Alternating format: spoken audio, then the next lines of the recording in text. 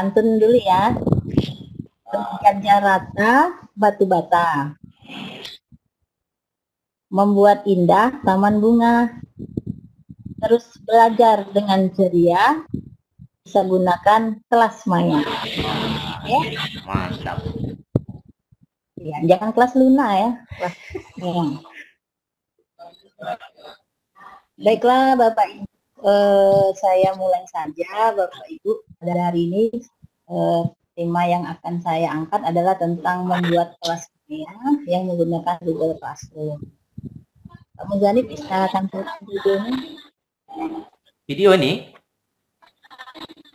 Enggak, di atasnya ada judulnya. di atas ada judul. Diklik aja muncul. Ini Ya sekali lagi. terus Nah, itu udah. Sampai itu aja.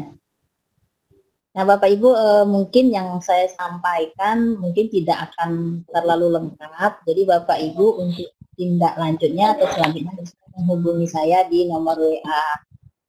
Itu ada di screen dan juga di Facebooknya. Silakan untuk memahami lebih lanjut tentang kelas maya. Eh, slide selanjutnya. Slide dua. Nah, tujuan dari eh, penyajian ini adalah mendeskripsikan tentang pembuatan dan pemanfaatan Google Classroom, Bapak Ibu. Google salah satu bentuk dari kelas maya. Mungkin masih banyak bentuk-bentuk kelas maya yang lain, tapi di sini kita fokuskan ke eh, Google Classroom. Kenapa Google Classroom? Karena sekarang ini seperti kondisi sekarang ini terasa sekali kemanfaatannya ya Bapak Ibu. Misalnya saya pernah dengar eh, beberapa kawan curhat itu dia membuat kelas atau tugas-tugas anak atau latihan itu dia menggunakan WA. Akhirnya terlalu banyak eh, materi atau apa eh, tugas-tugas anak yang masuk ke WA sehingga jadi jadi full memorinya. Nah, dengan salah satu solusi untuk mengatasi itu adalah dengan menggunakan kelas maya. Jadi kelas maya ini kita akan bisa gunakan untuk pembelajaran, ada pembelajaran nanti kreatif, inovatif, dan juga menyenangkan walaupun itu dalam jarak yang tidak di dalam kelas. Lalu, slide selanjutnya. Nah, apa sih Google Classroom? Google Classroom itu adalah sebuah platform yang diluncurkan oleh Google eh, yang memberikan kesempatan kepada kita pengguna Google ini untuk membuat sebuah kelas maya. Kelas maya ini terutama eh, kepedulian Google terhadap pendidikan yang bisa diakses peserta didik se- secara online di aplikasi Google. Ya Bapak Ibu. Selanjutnya. Nah, eh, ini adalah situs dari Google Classroom. Jadi untuk membuat membuat kelas Google ini, Bapak Ibu eh, bisa mengunjungi classroom.google.com. Maka Bapak Ibu akan disajikan eh, situs di mana Bapak Ibu nanti bisa membuat eh, kelas Google ini atau Google Classroom ini. Ini kami dari LPMP Bengkulu, terutama dari BTP, ini sudah mempunyai beberapa contoh kelas. Ada kelas quizzes, kelas komik digital, kelas fortune, kelas infografis. Semua- ini adalah contoh-contoh kelas yang kami buat untuk mengakomodir bagi guru-guru yang ingin belajar tentang eh, beberapa aplikasi untuk membuat media pembelajaran. Eh, misalnya saja untuk kelas maupun itu ada hampir 80 orang peserta yang ada di sana dan kebetulan kelas ini saya yang menghandlenya itu seluruh Indonesia bisa ikut. Jadi tidak hanya terbatas Bengkulu seperti itu. Ini contoh saja Bapak Ibu ya. Contoh kelas maya yang sudah pernah dibuat oleh PTP LPM Bengkulu oke sel- slide selanjutnya. Oke, kecil dikit nak. Bapak Ibu kan pasti ingin membuat, ya kan? Apalagi seperti sekarang ini ya, seperti sekarang lagi pandemi corona ini, kebutuhan kelas maya ini saya rasa sangat meningkat. Karena itu perlu kita mempelajari bagaimana membuatnya, Bapak Ibu. Mudah saja Bapak Ibu membuatnya. Pertama Bapak Ibu eh, buka situs Google, lalu cari Google Classroom di browsing. Nah, jika Bapak Ibu belum mempunyai akun Google, Bapak Ibu buat dulu. Silakan Bapak Ibu membuat akun Google, membuat akun untuk Classroom Google ini. Saya lanjutkan. Nah, jika sudah mempunyai akun, Bapak Ibu silakan login atau sign in. Nah, jika sudah masuk ke Google, home-nya Google Classroom atau berandanya Google Classroom, silakan Bapak Ibu membuat kelas-kelas sesuai kebutuhan. Misalnya Bapak Ibu mengajar di kelas 1, kelas 1 ada dua, berarti Bapak Ibu akan membuat kelas 1A, kelas 1B misalnya. Atau Bapak Ibu mengajar mata, pelajaran eh, SMP ya, kelas 1, bahasa Inggris, bahasa Inggrisnya ada uh, misalnya ada empat kelas, Bapak Ibu mengajar di empat uh, di kelas 7A, 7B, dan mungkin kelas 8 ya, 8A, 8B dan seterusnya. Itu silakan Bapak Ibu buat kelasnya sesuai dengan kebutuhan. Nah, setelah Bapak Ibu punya kelas, Bapak Ibu nanti kalau sudah punya kelas itu akan ada namanya kelas code atau kode kelas. Kode kelas ini Bapak Ibu bisa bagikan kepada siswa Bapak Ibu supaya nanti mereka bisa bergabung di kelas. Ada satu cara lagi untuk siswa kita itu dengan menggunakan email. Tapi saya rasa untuk SD saya tidak rasanya belum punya email, maka kita bisa bagikan kode kelas. Bagi Bapak Ibu yang uh, punya siswa yang banyak, misalnya uh, ada itu uh, pembagian kode kelas bisa nanti dapat mungkin ada WA untuk siswa dan orang tua dengan guru itu ada bisa nanti bisa. Tapi ag agak berhati-hati juga kalau nanti kita melakukan yang namanya ujian. Ujian online kan bisa juga kita adakan di classroom jadi bapak ibu dalam melakukan ujian mungkin kelasnya juga kelas kelas tertutup saja. Selanjutnya, setelah kita punya kelas, sama seperti di kelas biasa, itu kita akan ada materi, tugas, latihan, kemudian juga ada diskusi, kemudian uh, Bapak Ibu melayani kebutuhan siswa-siswanya yang mau berkonsultasi. Nah, itu bisa dilakukan di dalam kelas kelas Maya Google ini.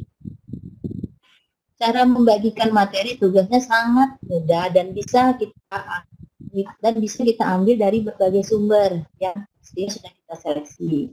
Misalnya Bapak Ibu mencari materi tentang, eh, tentang pelajarannya di, di YouTube misalnya, itu bisa kita share di kelas Maya. Kemudian Bapak Ibu membuat soal ujian atau latihan di Google Form, itu juga bisa kita share di kelas Maya. Kalau yang sudah mengenal Quizzes, Quizzes pun bisa kita bagikan di kelas Maya kita linknya. Jadi sangat membantu apalagi dengan kondisi pembelajaran yang sekarang bisa kita katakan bahwa pembelajaran di rumah atau pembelajaran jarak jauh guru dan siswa tidak bertemu secara langsung. Slide selanjutnya.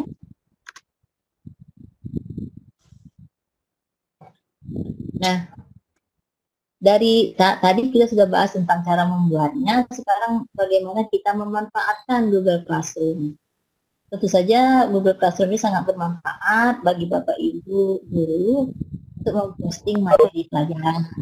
Materi pelajarannya apa saja? Bisa berupa teks, dokumen, bisa juga berupa video. Misalnya Bapak Ibu, misalnya Bapak Ibu uh, membuat video menggunakan HP saja bisa ya, menggunakan HP atau menggunakan laptop. Bapak Ibu rekam, Bapak Ibu mau mengajarkan tentang apa, kemudian Bapak Ibu uh, upload di Google Drive atau bisa saja tetap simpan di laptop itu bisa kita posting di kelas Maya. Kemudian Bapak Ibu bisa memposting tautan-tautan atau link pelajaran yang dirasa mendukung atau cocok untuk diberikan kepada siswa. Misalnya kita tidak bisa membuat sendiri medianya, maka Bapak Ibu bisa mengambil dari itu yang eh, kita seleksi dulu ya pasti ya. Kemudian Bapak Ibu pengen diskusi, mungkin di sekolah enak ya kita bisa langsung uh, berdiskusi. Ini bisa diskusikan secara online. Bapak Ibu lemparkan sebuah permasalahan atau sebuah materi diskusi, silakan anak-anak nanti akan menanggapi di sana. Eh, pemanfaatan keempat yaitu wadah berlatih kuis. Banyak sekali kuis online yang bisa kita di Maya ini. Misalnya dari Quizzes, dari Google Form, eh, dan lain-lain. Oke, next. Slide berikutnya. Nah, Bapak Ibu, eh, kami dari LPMP, dari PTP itu sudah membuat sebuah kelas maya. Kelas maya yang bisa Bapak Ibu manfaatkan untuk menambah wawasan kata anak itu Bapak Ibu silakan bergabung saja buka kelas Maya Google Classroom. Kemudian masukkan kodenya ada di sana. Di sini ya ada kodenya. Itu kode kelasnya. Kami buka ini untuk membantu Bapak Ibu menambah wawasan keterampilan dalam pembuatan model dan juga media pembelajaran silakan bergabung ya Bapak Ibu kami tunggu. Eh, saya saya kira untuk membuat kelas maya yang lebih teknis itu saya nanti punya videonya, tapi mungkin untuk saat ini videonya mungkin agak susah diputar di sini nanti bisa saya share di eh, di classroom Alamat Google Classroom PTP Saya kira itu sampai sana aja Pak Muzanif. Saya kembalikan ke Pak Muzanif. Terima kasih Bu Yulia sudah menyampaikan materinya kepada kita bersama. Luar biasa Ibu Bapak. Jadi di materi pertama tadi narasumber kita menyampaikan tentang uh, model termasuk di dalamnya ada strategi cara mengisi kelasnya. Sementara wadah kelasnya itu sudah disampaikan oleh Ibu Julia sebagai narasumber kedua yaitu Google Classroom. Kita ketahui bahwa Google Classroom ini adalah salah satu uh, kelas maya yang bisa digunakan secara mudah dan gratis ya Bu Julia ya. Nah, ya. teman-teman ya. semuanya, jangan saya mengingatkan lagi jangan lupa mengisi absensi ya, jangan lupa mengisi absensi. Kalaupun misalnya belum sekarang nanti di akhir juga boleh isi uh, absensi. Di chatting kita di room ini sudah ada beberapa pertanyaan ini Pak dan Ibu narasumber, Pak Komar dan Bu Julia. Ini yang pertama pertanyaan dari Wih, banyak ini pertanyaannya Pak Saprizal ya. Pak Saprizal ini banyak sekali pertanyaannya. Ada tiga. Yang pertama pada siapa ini Pak Saprizal? Oke, saya buka buka ini ya Pak Saprizal ya. Speakernya Pak Saprizal. Mudah-mudahan masih ada nih. Nah, Pak Saprizal? Halo? Pak Ijal? Yep. Ah, silakan tuh Pak Ijal. Ya. Pertanyaannya yep. untuk siapa? Tidak ada supportnya. Oh, Steam ya. Oke, Mas Komar barangkali mengenai Steam tadi. Ketiganya. Iya. Ya, oke. Okay. Pak Komar, ini ada tiga pertanyaan. Ya, betul. Dari Pak Saprizal. Yang pertama, mengapa di Steam tidak ada apa itu sportnya? Sportnya itu maksudnya olahraga. Oh iya. Ya, betul. Supaya kami sebagai guru olahraga. Ya, kegiatan ya, gerak kan. Nah, kurang percaya diri, tidak kurang percaya diri. Maksudnya supaya semangat kan. Yang kedua, bagaimana hubungan STEM dengan saintifik ya. pada K13?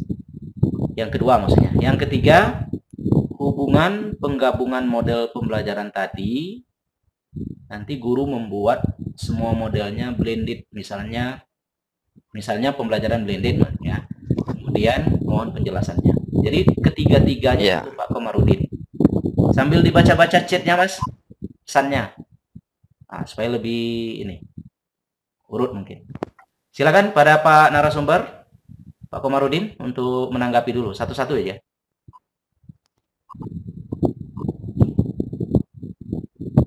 Oh, mohon maaf.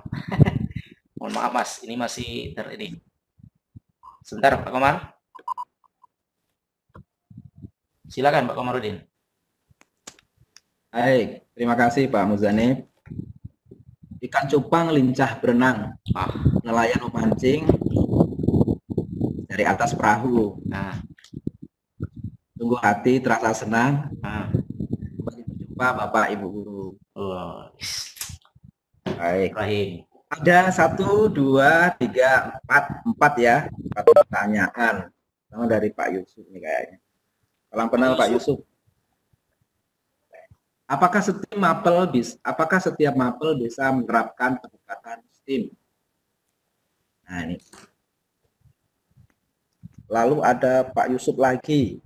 Tolong diperjelas yang benar pendekatan atau model untuk STEAM. Oh iya, sorry di atas ada Pak Yusuf. Yang Ya. mana Pak Yusuf? Pak Yusuf dulu. ada ada dua ada dua pertanyaan. Ya. Pertanyaan. Lalu berikutnya mengapa ya mengapa STEAM tidak ada spotnya tidak ada spotnya maksudnya tidak mengakomodir Olahraga. yang studi atau pelajaran olahraga gitu ya dan biar menga- me- me- menjadikan Lalu kedua, bagaimana hubungan STEAM dengan scientific approach? Jadi ada K13 lalu yang akhir tentang penggabungan model pembelajaran ya. Nanti guru membuat semua modelnya blended misalnya. Baik Bapak Ibu, eh, ini forumnya diskusi nanti sebenarnya ada ada makalah secara lengkapnya masuk bagaimana buah STEAM itu terimplementasi dan blended gabung dengan uh, model atau pendekatan yang lain, uh, metode atau pendekatan yang lain. Gitu.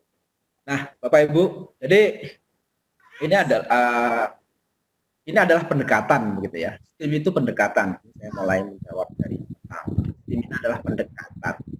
Jadi pendekatan itu ya, gitu ya, pendekatan. Karena dia nanti dia akan Ada. akan selalu punya apa ada celah untuk kebaharuannya. Bisa diperbaiki bisa ya. Dia akan ketemu gini. Ini jadi pertama STEAM tuh STEM STEAM. STEAM. Science Technology Engineering and Matematik awalnya tuh lalu ada yang kemudian menyatakan loh bagaimana bahasa Indonesia Bagaimana bahasa Indonesia? Masuknya di mana? Bahasa Indonesia itu ada sastra loh. Sastra itu ada eh, ada seninya loh di dalamnya kan. Lalu berubah menjadi STEAM. Ini terus akan tumbuh seperti itu. Nah, saat ini Bapak Ibu ya, itu itu yang terjadi dengan STEAM. Nah, ya, STEAM adalah sebuah pendekatan. Lalu apakah setiap kapal bisa menerapkan pendekatan STEAM? Bisa. Tadi kita sudah coba jelaskan di awal, yang terpenting adalah organis melakukan organisir terhadap KDPP-nya. Itu. Itu untuk eh, pelajaran-pelajaran yang sudah subjek matter. Sudah jelas, misalnya eh, akuntansi, misalnya. Kan sulit itu membuat STEAM, eh, apa namanya, dibuat STEAM berdiri sendiri.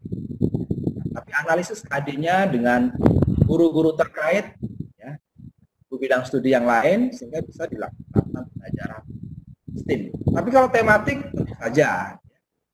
Kalau tematik jelas bisa dilaksanakan di sana. Karena biasanya pembelajaran tematik itu sudah mengakomodir dari disiplin ilmu. Ya, disiplin ilmu. Karena pengetahuan, teknologi, engineering-nya, arts-nya, matematiknya, terus biasanya langsung terintegrasi komprehensif ada di dalam sebuah pembelajaran. STEAM itu ya bisa masuk bisa digunakan. Lalu mengapa di STEAM ya? Maksudnya mungkin STEM juga ini maksudnya. Hmm, ya betul. Tidak ada ada spotnya. Jadi eh, aktivitas jadi kayaknya eh, basisnya adalah aktivitas sebenarnya.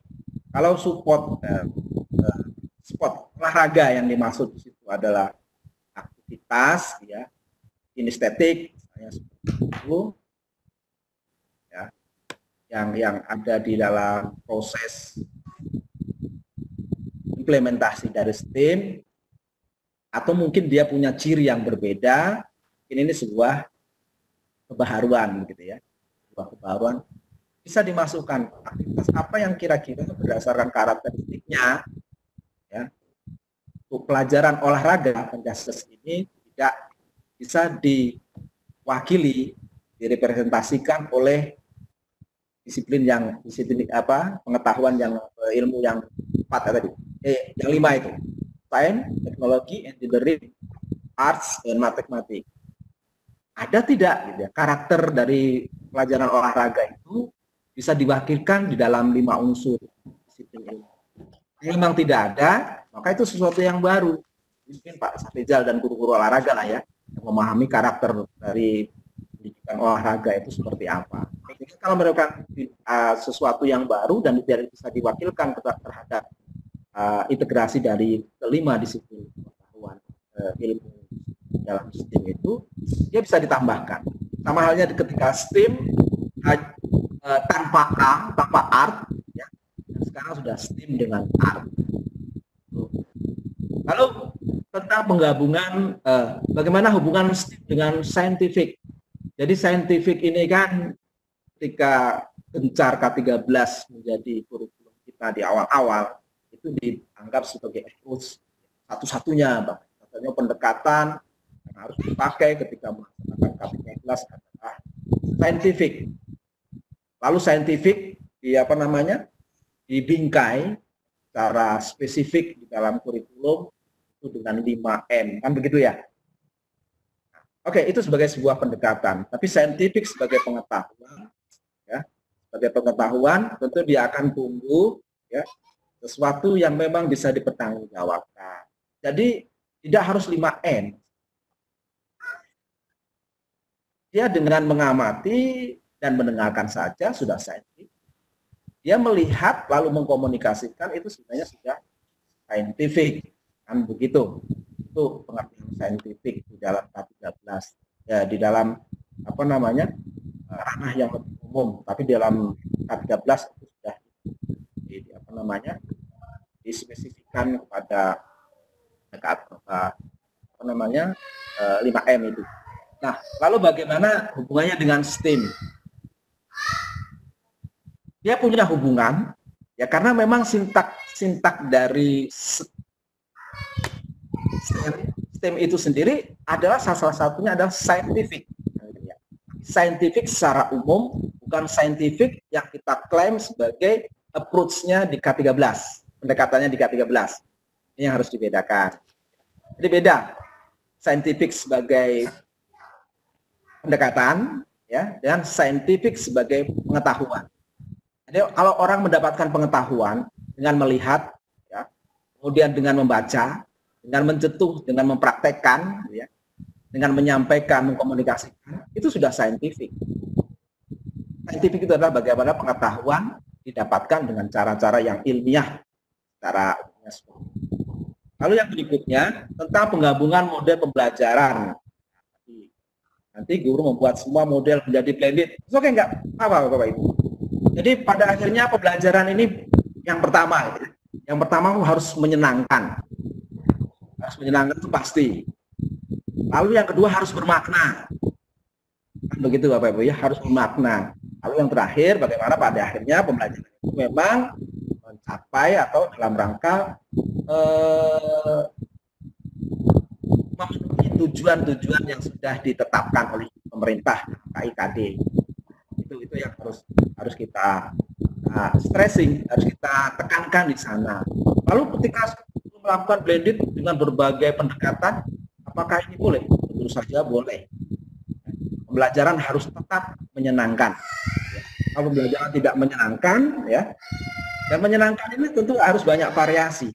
Misalnya dalam praktek kelas konvensional, Bapak Ibu bisa menggunakan uh, ceramah, ya, berapa, lalu ada uh, apa namanya kerja kelompok, apa, gitu ya, berapa bagian bisa dengan penugasan Allah. Itu di semuanya bisa di blend bisa dimodifikasi di dalam sebuah pembelajaran sebuah aktivitas kelas sehingga memang kelas itu akan tetap tumbuh ya, tetap aktif aktif. Karena pada akhirnya yang ingin kita bangun ya, dalam kelas itu adalah siswa menjadi aktif di dalam pembelajarannya kalau ini tidak terbangun dan kita terpaku pada satu roots atau metode saja dalam pembelajaran saja pembelajaran yang kita laksanakan itu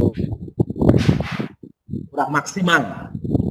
Intinya itu Bapak Ibu, ya. semoga penjelasan yang sederhana ini bisa menginspirasi Bapak Ibu di dalam uh, mendesain pembelajaran sehingga pembelajaran yang dilakukan di rumah saat ini betul-betul menyenangkan, bermakna, tentunya ingat bahwa pembelajaran yang kita lakukan harus tetap mengacu pada tiga aspek, knowledge, efektif, dan lagi skill gitu ya, keterampilan.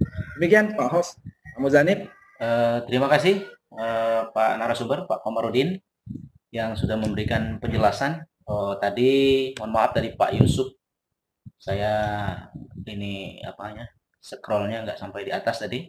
Terlihat Pak Saprizal, ternyata Pak Yusuf pertanyaannya juga banyak tadi. Halo Pak Yusuf.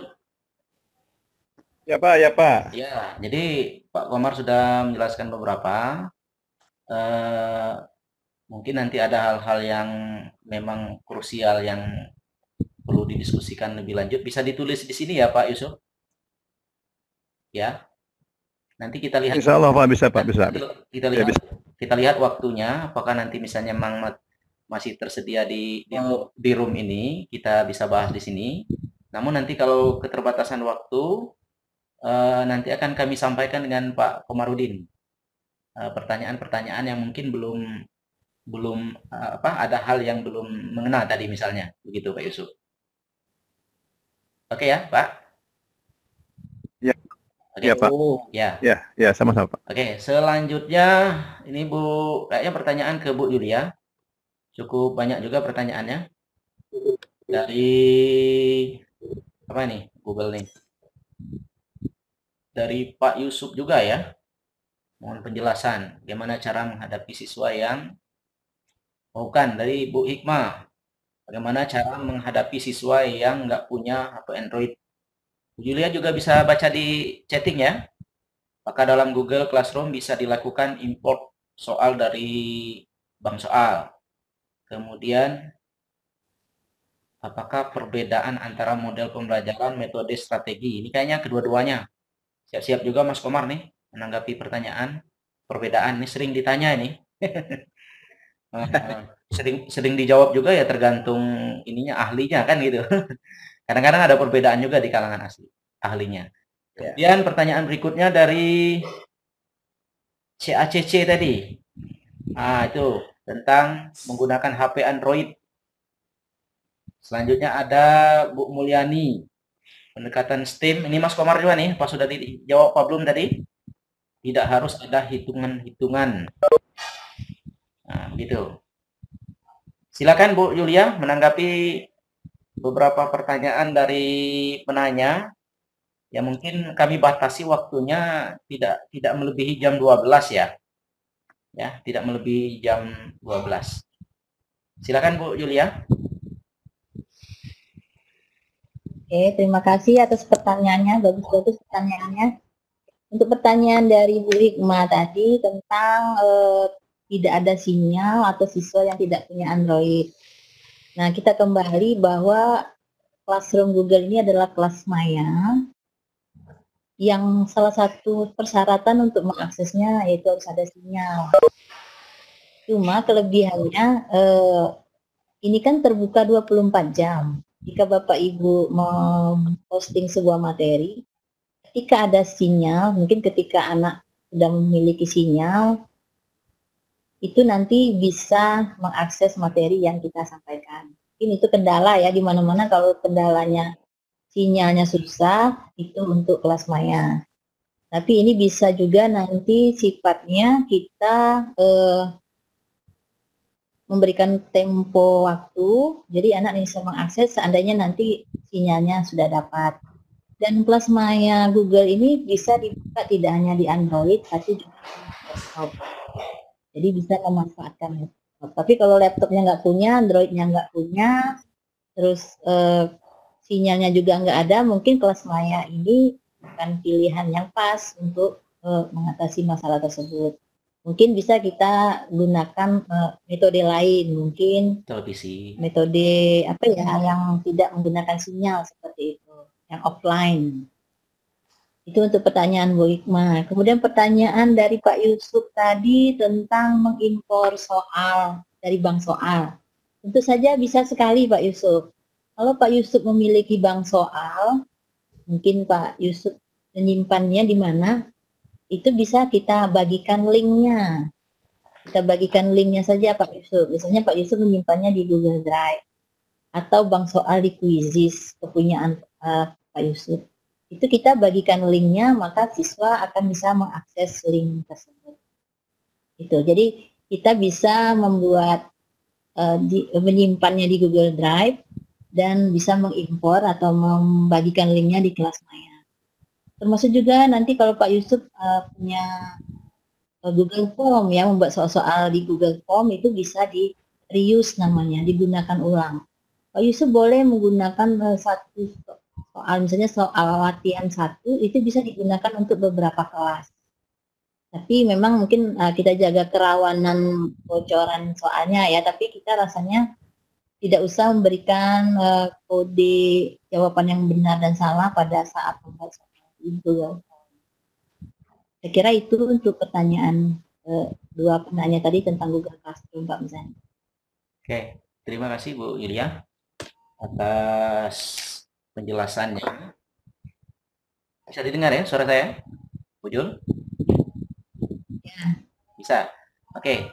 Uh, ya. Julia sudah memberikan jawaban dari beberapa pertanyaan. Uh, kita lihat mungkin ada beberapa yang belum dijelaskan di sini, yaitu uh, tentang apa tadi? Tentang metode ya Kemudian bagaimana cara cepat mendekat, menerapkan karakter spiritual, sosial dalam kegiatan pembelajaran di rumah.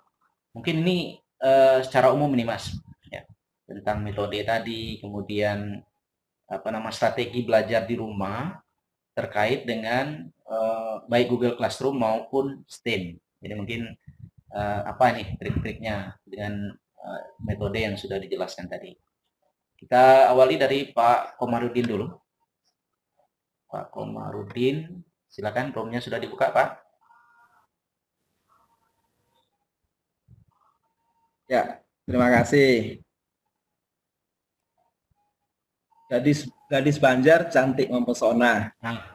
Tetap belajar walau tak dalam pandemi corona. Ya. Baik, Bapak Ibu, nah, ini yang pertama saya baca lagi. Apa uh, apa perbedaan antara model pembelajaran metode strategi dalam KPM gitu ya. Ini sebenarnya bahasa yang terus terjadi dan berulang-ulang ya, tidak ada kesepakatan hmm. di debatable gitu ya. Tapi yang jelas Bapak Ibu biasanya hanya hanya bahasanya sendiri sih yang berbeda tapi dalam implementasinya ya tetap tetap saja. Ada yang menulisnya sebagai metode ada yang menulisnya sebagai pendekatan gitu kan. Ada yang menulisnya sebagai strategi. Tapi biasanya biasanya ini nanti ada ahli yang berbeda juga ngomong pasti berbeda. Ada strategi ada apa namanya ada model ada uh, pendekatan ada metode. Atau ada ada yang menyampaikan approach dulu pendekatannya dulu dan sebagainya. Ini uh, tidak menutup kemungkinan bapak ibu pada akhirnya itu ya dalam prakteknya untuk menggunakannya secara bergantian. Nah, oh ini pendekatan, ini metode. Oke, nggak masalah. Nggak masalah itu dipakai. Nah, kalau definisi yang jelas, Bapak Ibu bisa searching di internet. Dan saya yakin itu berbeda-beda. Saya tidak akan menyampaikan satu definisi ini, nanti akan berbeda juga uh, rasionalisasinya. Approach dengan metode itu bisa saling apa namanya saling menggantikan penggunaannya ya. strategi strategi strategi mungkin akan akan berarti dalam pendekatan STEAM tidak harus ada hitung hitungan ya Pak? Nah, maksudnya apa ya ya tetap perencanaan itu hitung-hitungan juga ya. Berapa lama waktunya itu kan? Berapa bahan yang dibutuhkan itu kan hitung-hitungan juga. Kalau yang dianggap dimaksud hitung-hitungan adalah pelajaran matematika STEAM sendiri kan ada disiplin ilmunya di apa ada disiplin ilmu yang terintegrasi di sana itu matik-matik artinya dan, dan ada gitu ya jadi roh dari matematik itu tetap terintegrasi dalam uh, itu sendiri. Ini tidak tidak terpisahkan. Karena kita ingin apa namanya? Ya kembali kepada fitrah pembelajaran. Itu baca kan begitu. Jadi penerjemahannya matematik itu di M-nya itu tetap ada Ad- eh, tetap ada hitung-hitungannya. Kalau yang dimaksud hitungan adalah pelajaran matematika. Bagaimana cara tepat minimal mendekati ya, terapkan karakter spiritual dan sosial dalam kegiatan pembelajaran di rumah. Nah, tadi Bapak Ibu, saya di awal menyampaikan bagaimana kolaborasi antara siswa dan orang tua ini harus ditekankan, kan begitu. Kolaborasi ini, kalau dia anak-anak dalam penugasan, dalam direction eh, penugasan itu kita instruksikan hanya menjawab soal gitu ya, tugas-tugas. Ini kita sulit sulit mengidentifikasi gitu ya, bagaimana kerjasama orang tua. Uh, artinya, jadi harus memang betul-betul didesain sebuah canaan pembelajarannya itu, ya, instruksi pembelajaran itu yang akan dikerjakan di kelas, ya dikerjakan di rumah maksud saya, itu sehingga ada keterlibatan ya yang benar-benar gitu ya, yang natural gitu ya, dan rekayasa. Gitu. Ada intensitas anak untuk melakukan eh, bagaimana dia berselancar eh, memanfaatkan internet itu bisa kita pantau.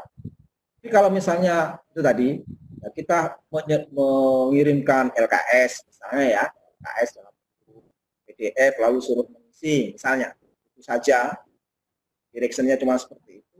Saya yakin kita sulit ya, sulit untuk me- mengetahui ya, eh, tetap me- mengetahui bagaimana proses KI 1 atau KI 2 itu terjadi di dalam kelas.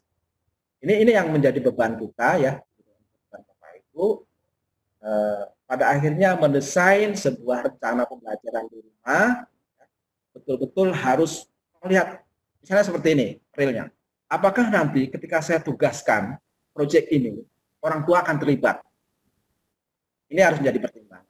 Apakah nanti anak-anak gitu kan akan uh, berinteraksi dengan lingkungan? Apakah nanti misalnya kalau itu tugasnya proyek berkaitan dengan pemenuhan alat, ya, menggunakan alat, mengumpulkan bahan, apakah bahan-bahan ini nanti ketika dia dapatkan itu harus misalnya karena ada pembatasan jarak sekarang ya, harus keluar dari jarak itu. Jadi di situ kita bisa melihat yang mau kita lihat misalnya kerjasamanya, kan gitu ya, ketaatannya, kedisiplinannya. Kita bisa bisa apa ya, bisa pantau dengan direction yang jelas di dalam uh, instruksi yang kita buat ketika kita itu minimal seperti. Nah terkait dengan spiritualnya misalnya, spiritualnya ya kita menyapa, dia menyapa, dia bertanya, kita bisa memaknai bahwa itu bentuk dari tanggung jawab, kan begitu ya, bentuk dari kepedulian, ya. Kalau dia bertanya, misalnya terhadap sebuah proyek yang kita laksanakan, kita berikan kepada anak, kita maknai itu sebagai bentuk keberanian, makan pendapat. Kan nilai-nilai seperti ini kan bagian dari nilai sosial dan spiritual, yang notabene kita anggap itu sebagai nilai karakter yang harus dikembangkan, yang ter apa namanya, yang tertinggal dalam lima karakter utama itu. Jadi ini Bapak Ibu, bagaimana pada akhirnya karakter ini tetap muncul, tetap tumbuh dengan proses pendidikan yang sekarang ini di rumah saja itu sangat tergantung dengan Bapak Ibu mendesainnya. Ya. Kalau Bapak Ibu memindahkan ruang belajar ini ke dalam rumah, ya, dan Bapak Ibu tidak hadir di sana, yang ada di sana orang tua, tentu saja pembelajaran itu akan sangat ya, sangat meninggalkan atau mungkin sedikit sekali eh, terjadi transfer terhadap KI 1 maupun KI 2. Itu mungkin yang bisa saya sampaikan Pak host dan Bapak Ibu sekalian. Terima kasih atas perhatiannya ya. Semoga diskusi yang bermanfaat yang sederhana ini dapat bermanfaat untuk kita semua. Dan mohon maaf ini uh, jika ada hal-hal yang kurang berkenan, kiranya nanti kita bisa terus lakukan perbaikan dalam proses uh, kita mengadakan pertemuan. Terima kasih Pak Host. Uh, Mas Komar, karena mungkin waktu Ya. kita sudah hampir habis, mungkin ada apa kata-kata penyemangat untuk teman-teman guru dan siswa kita belajar di rumah.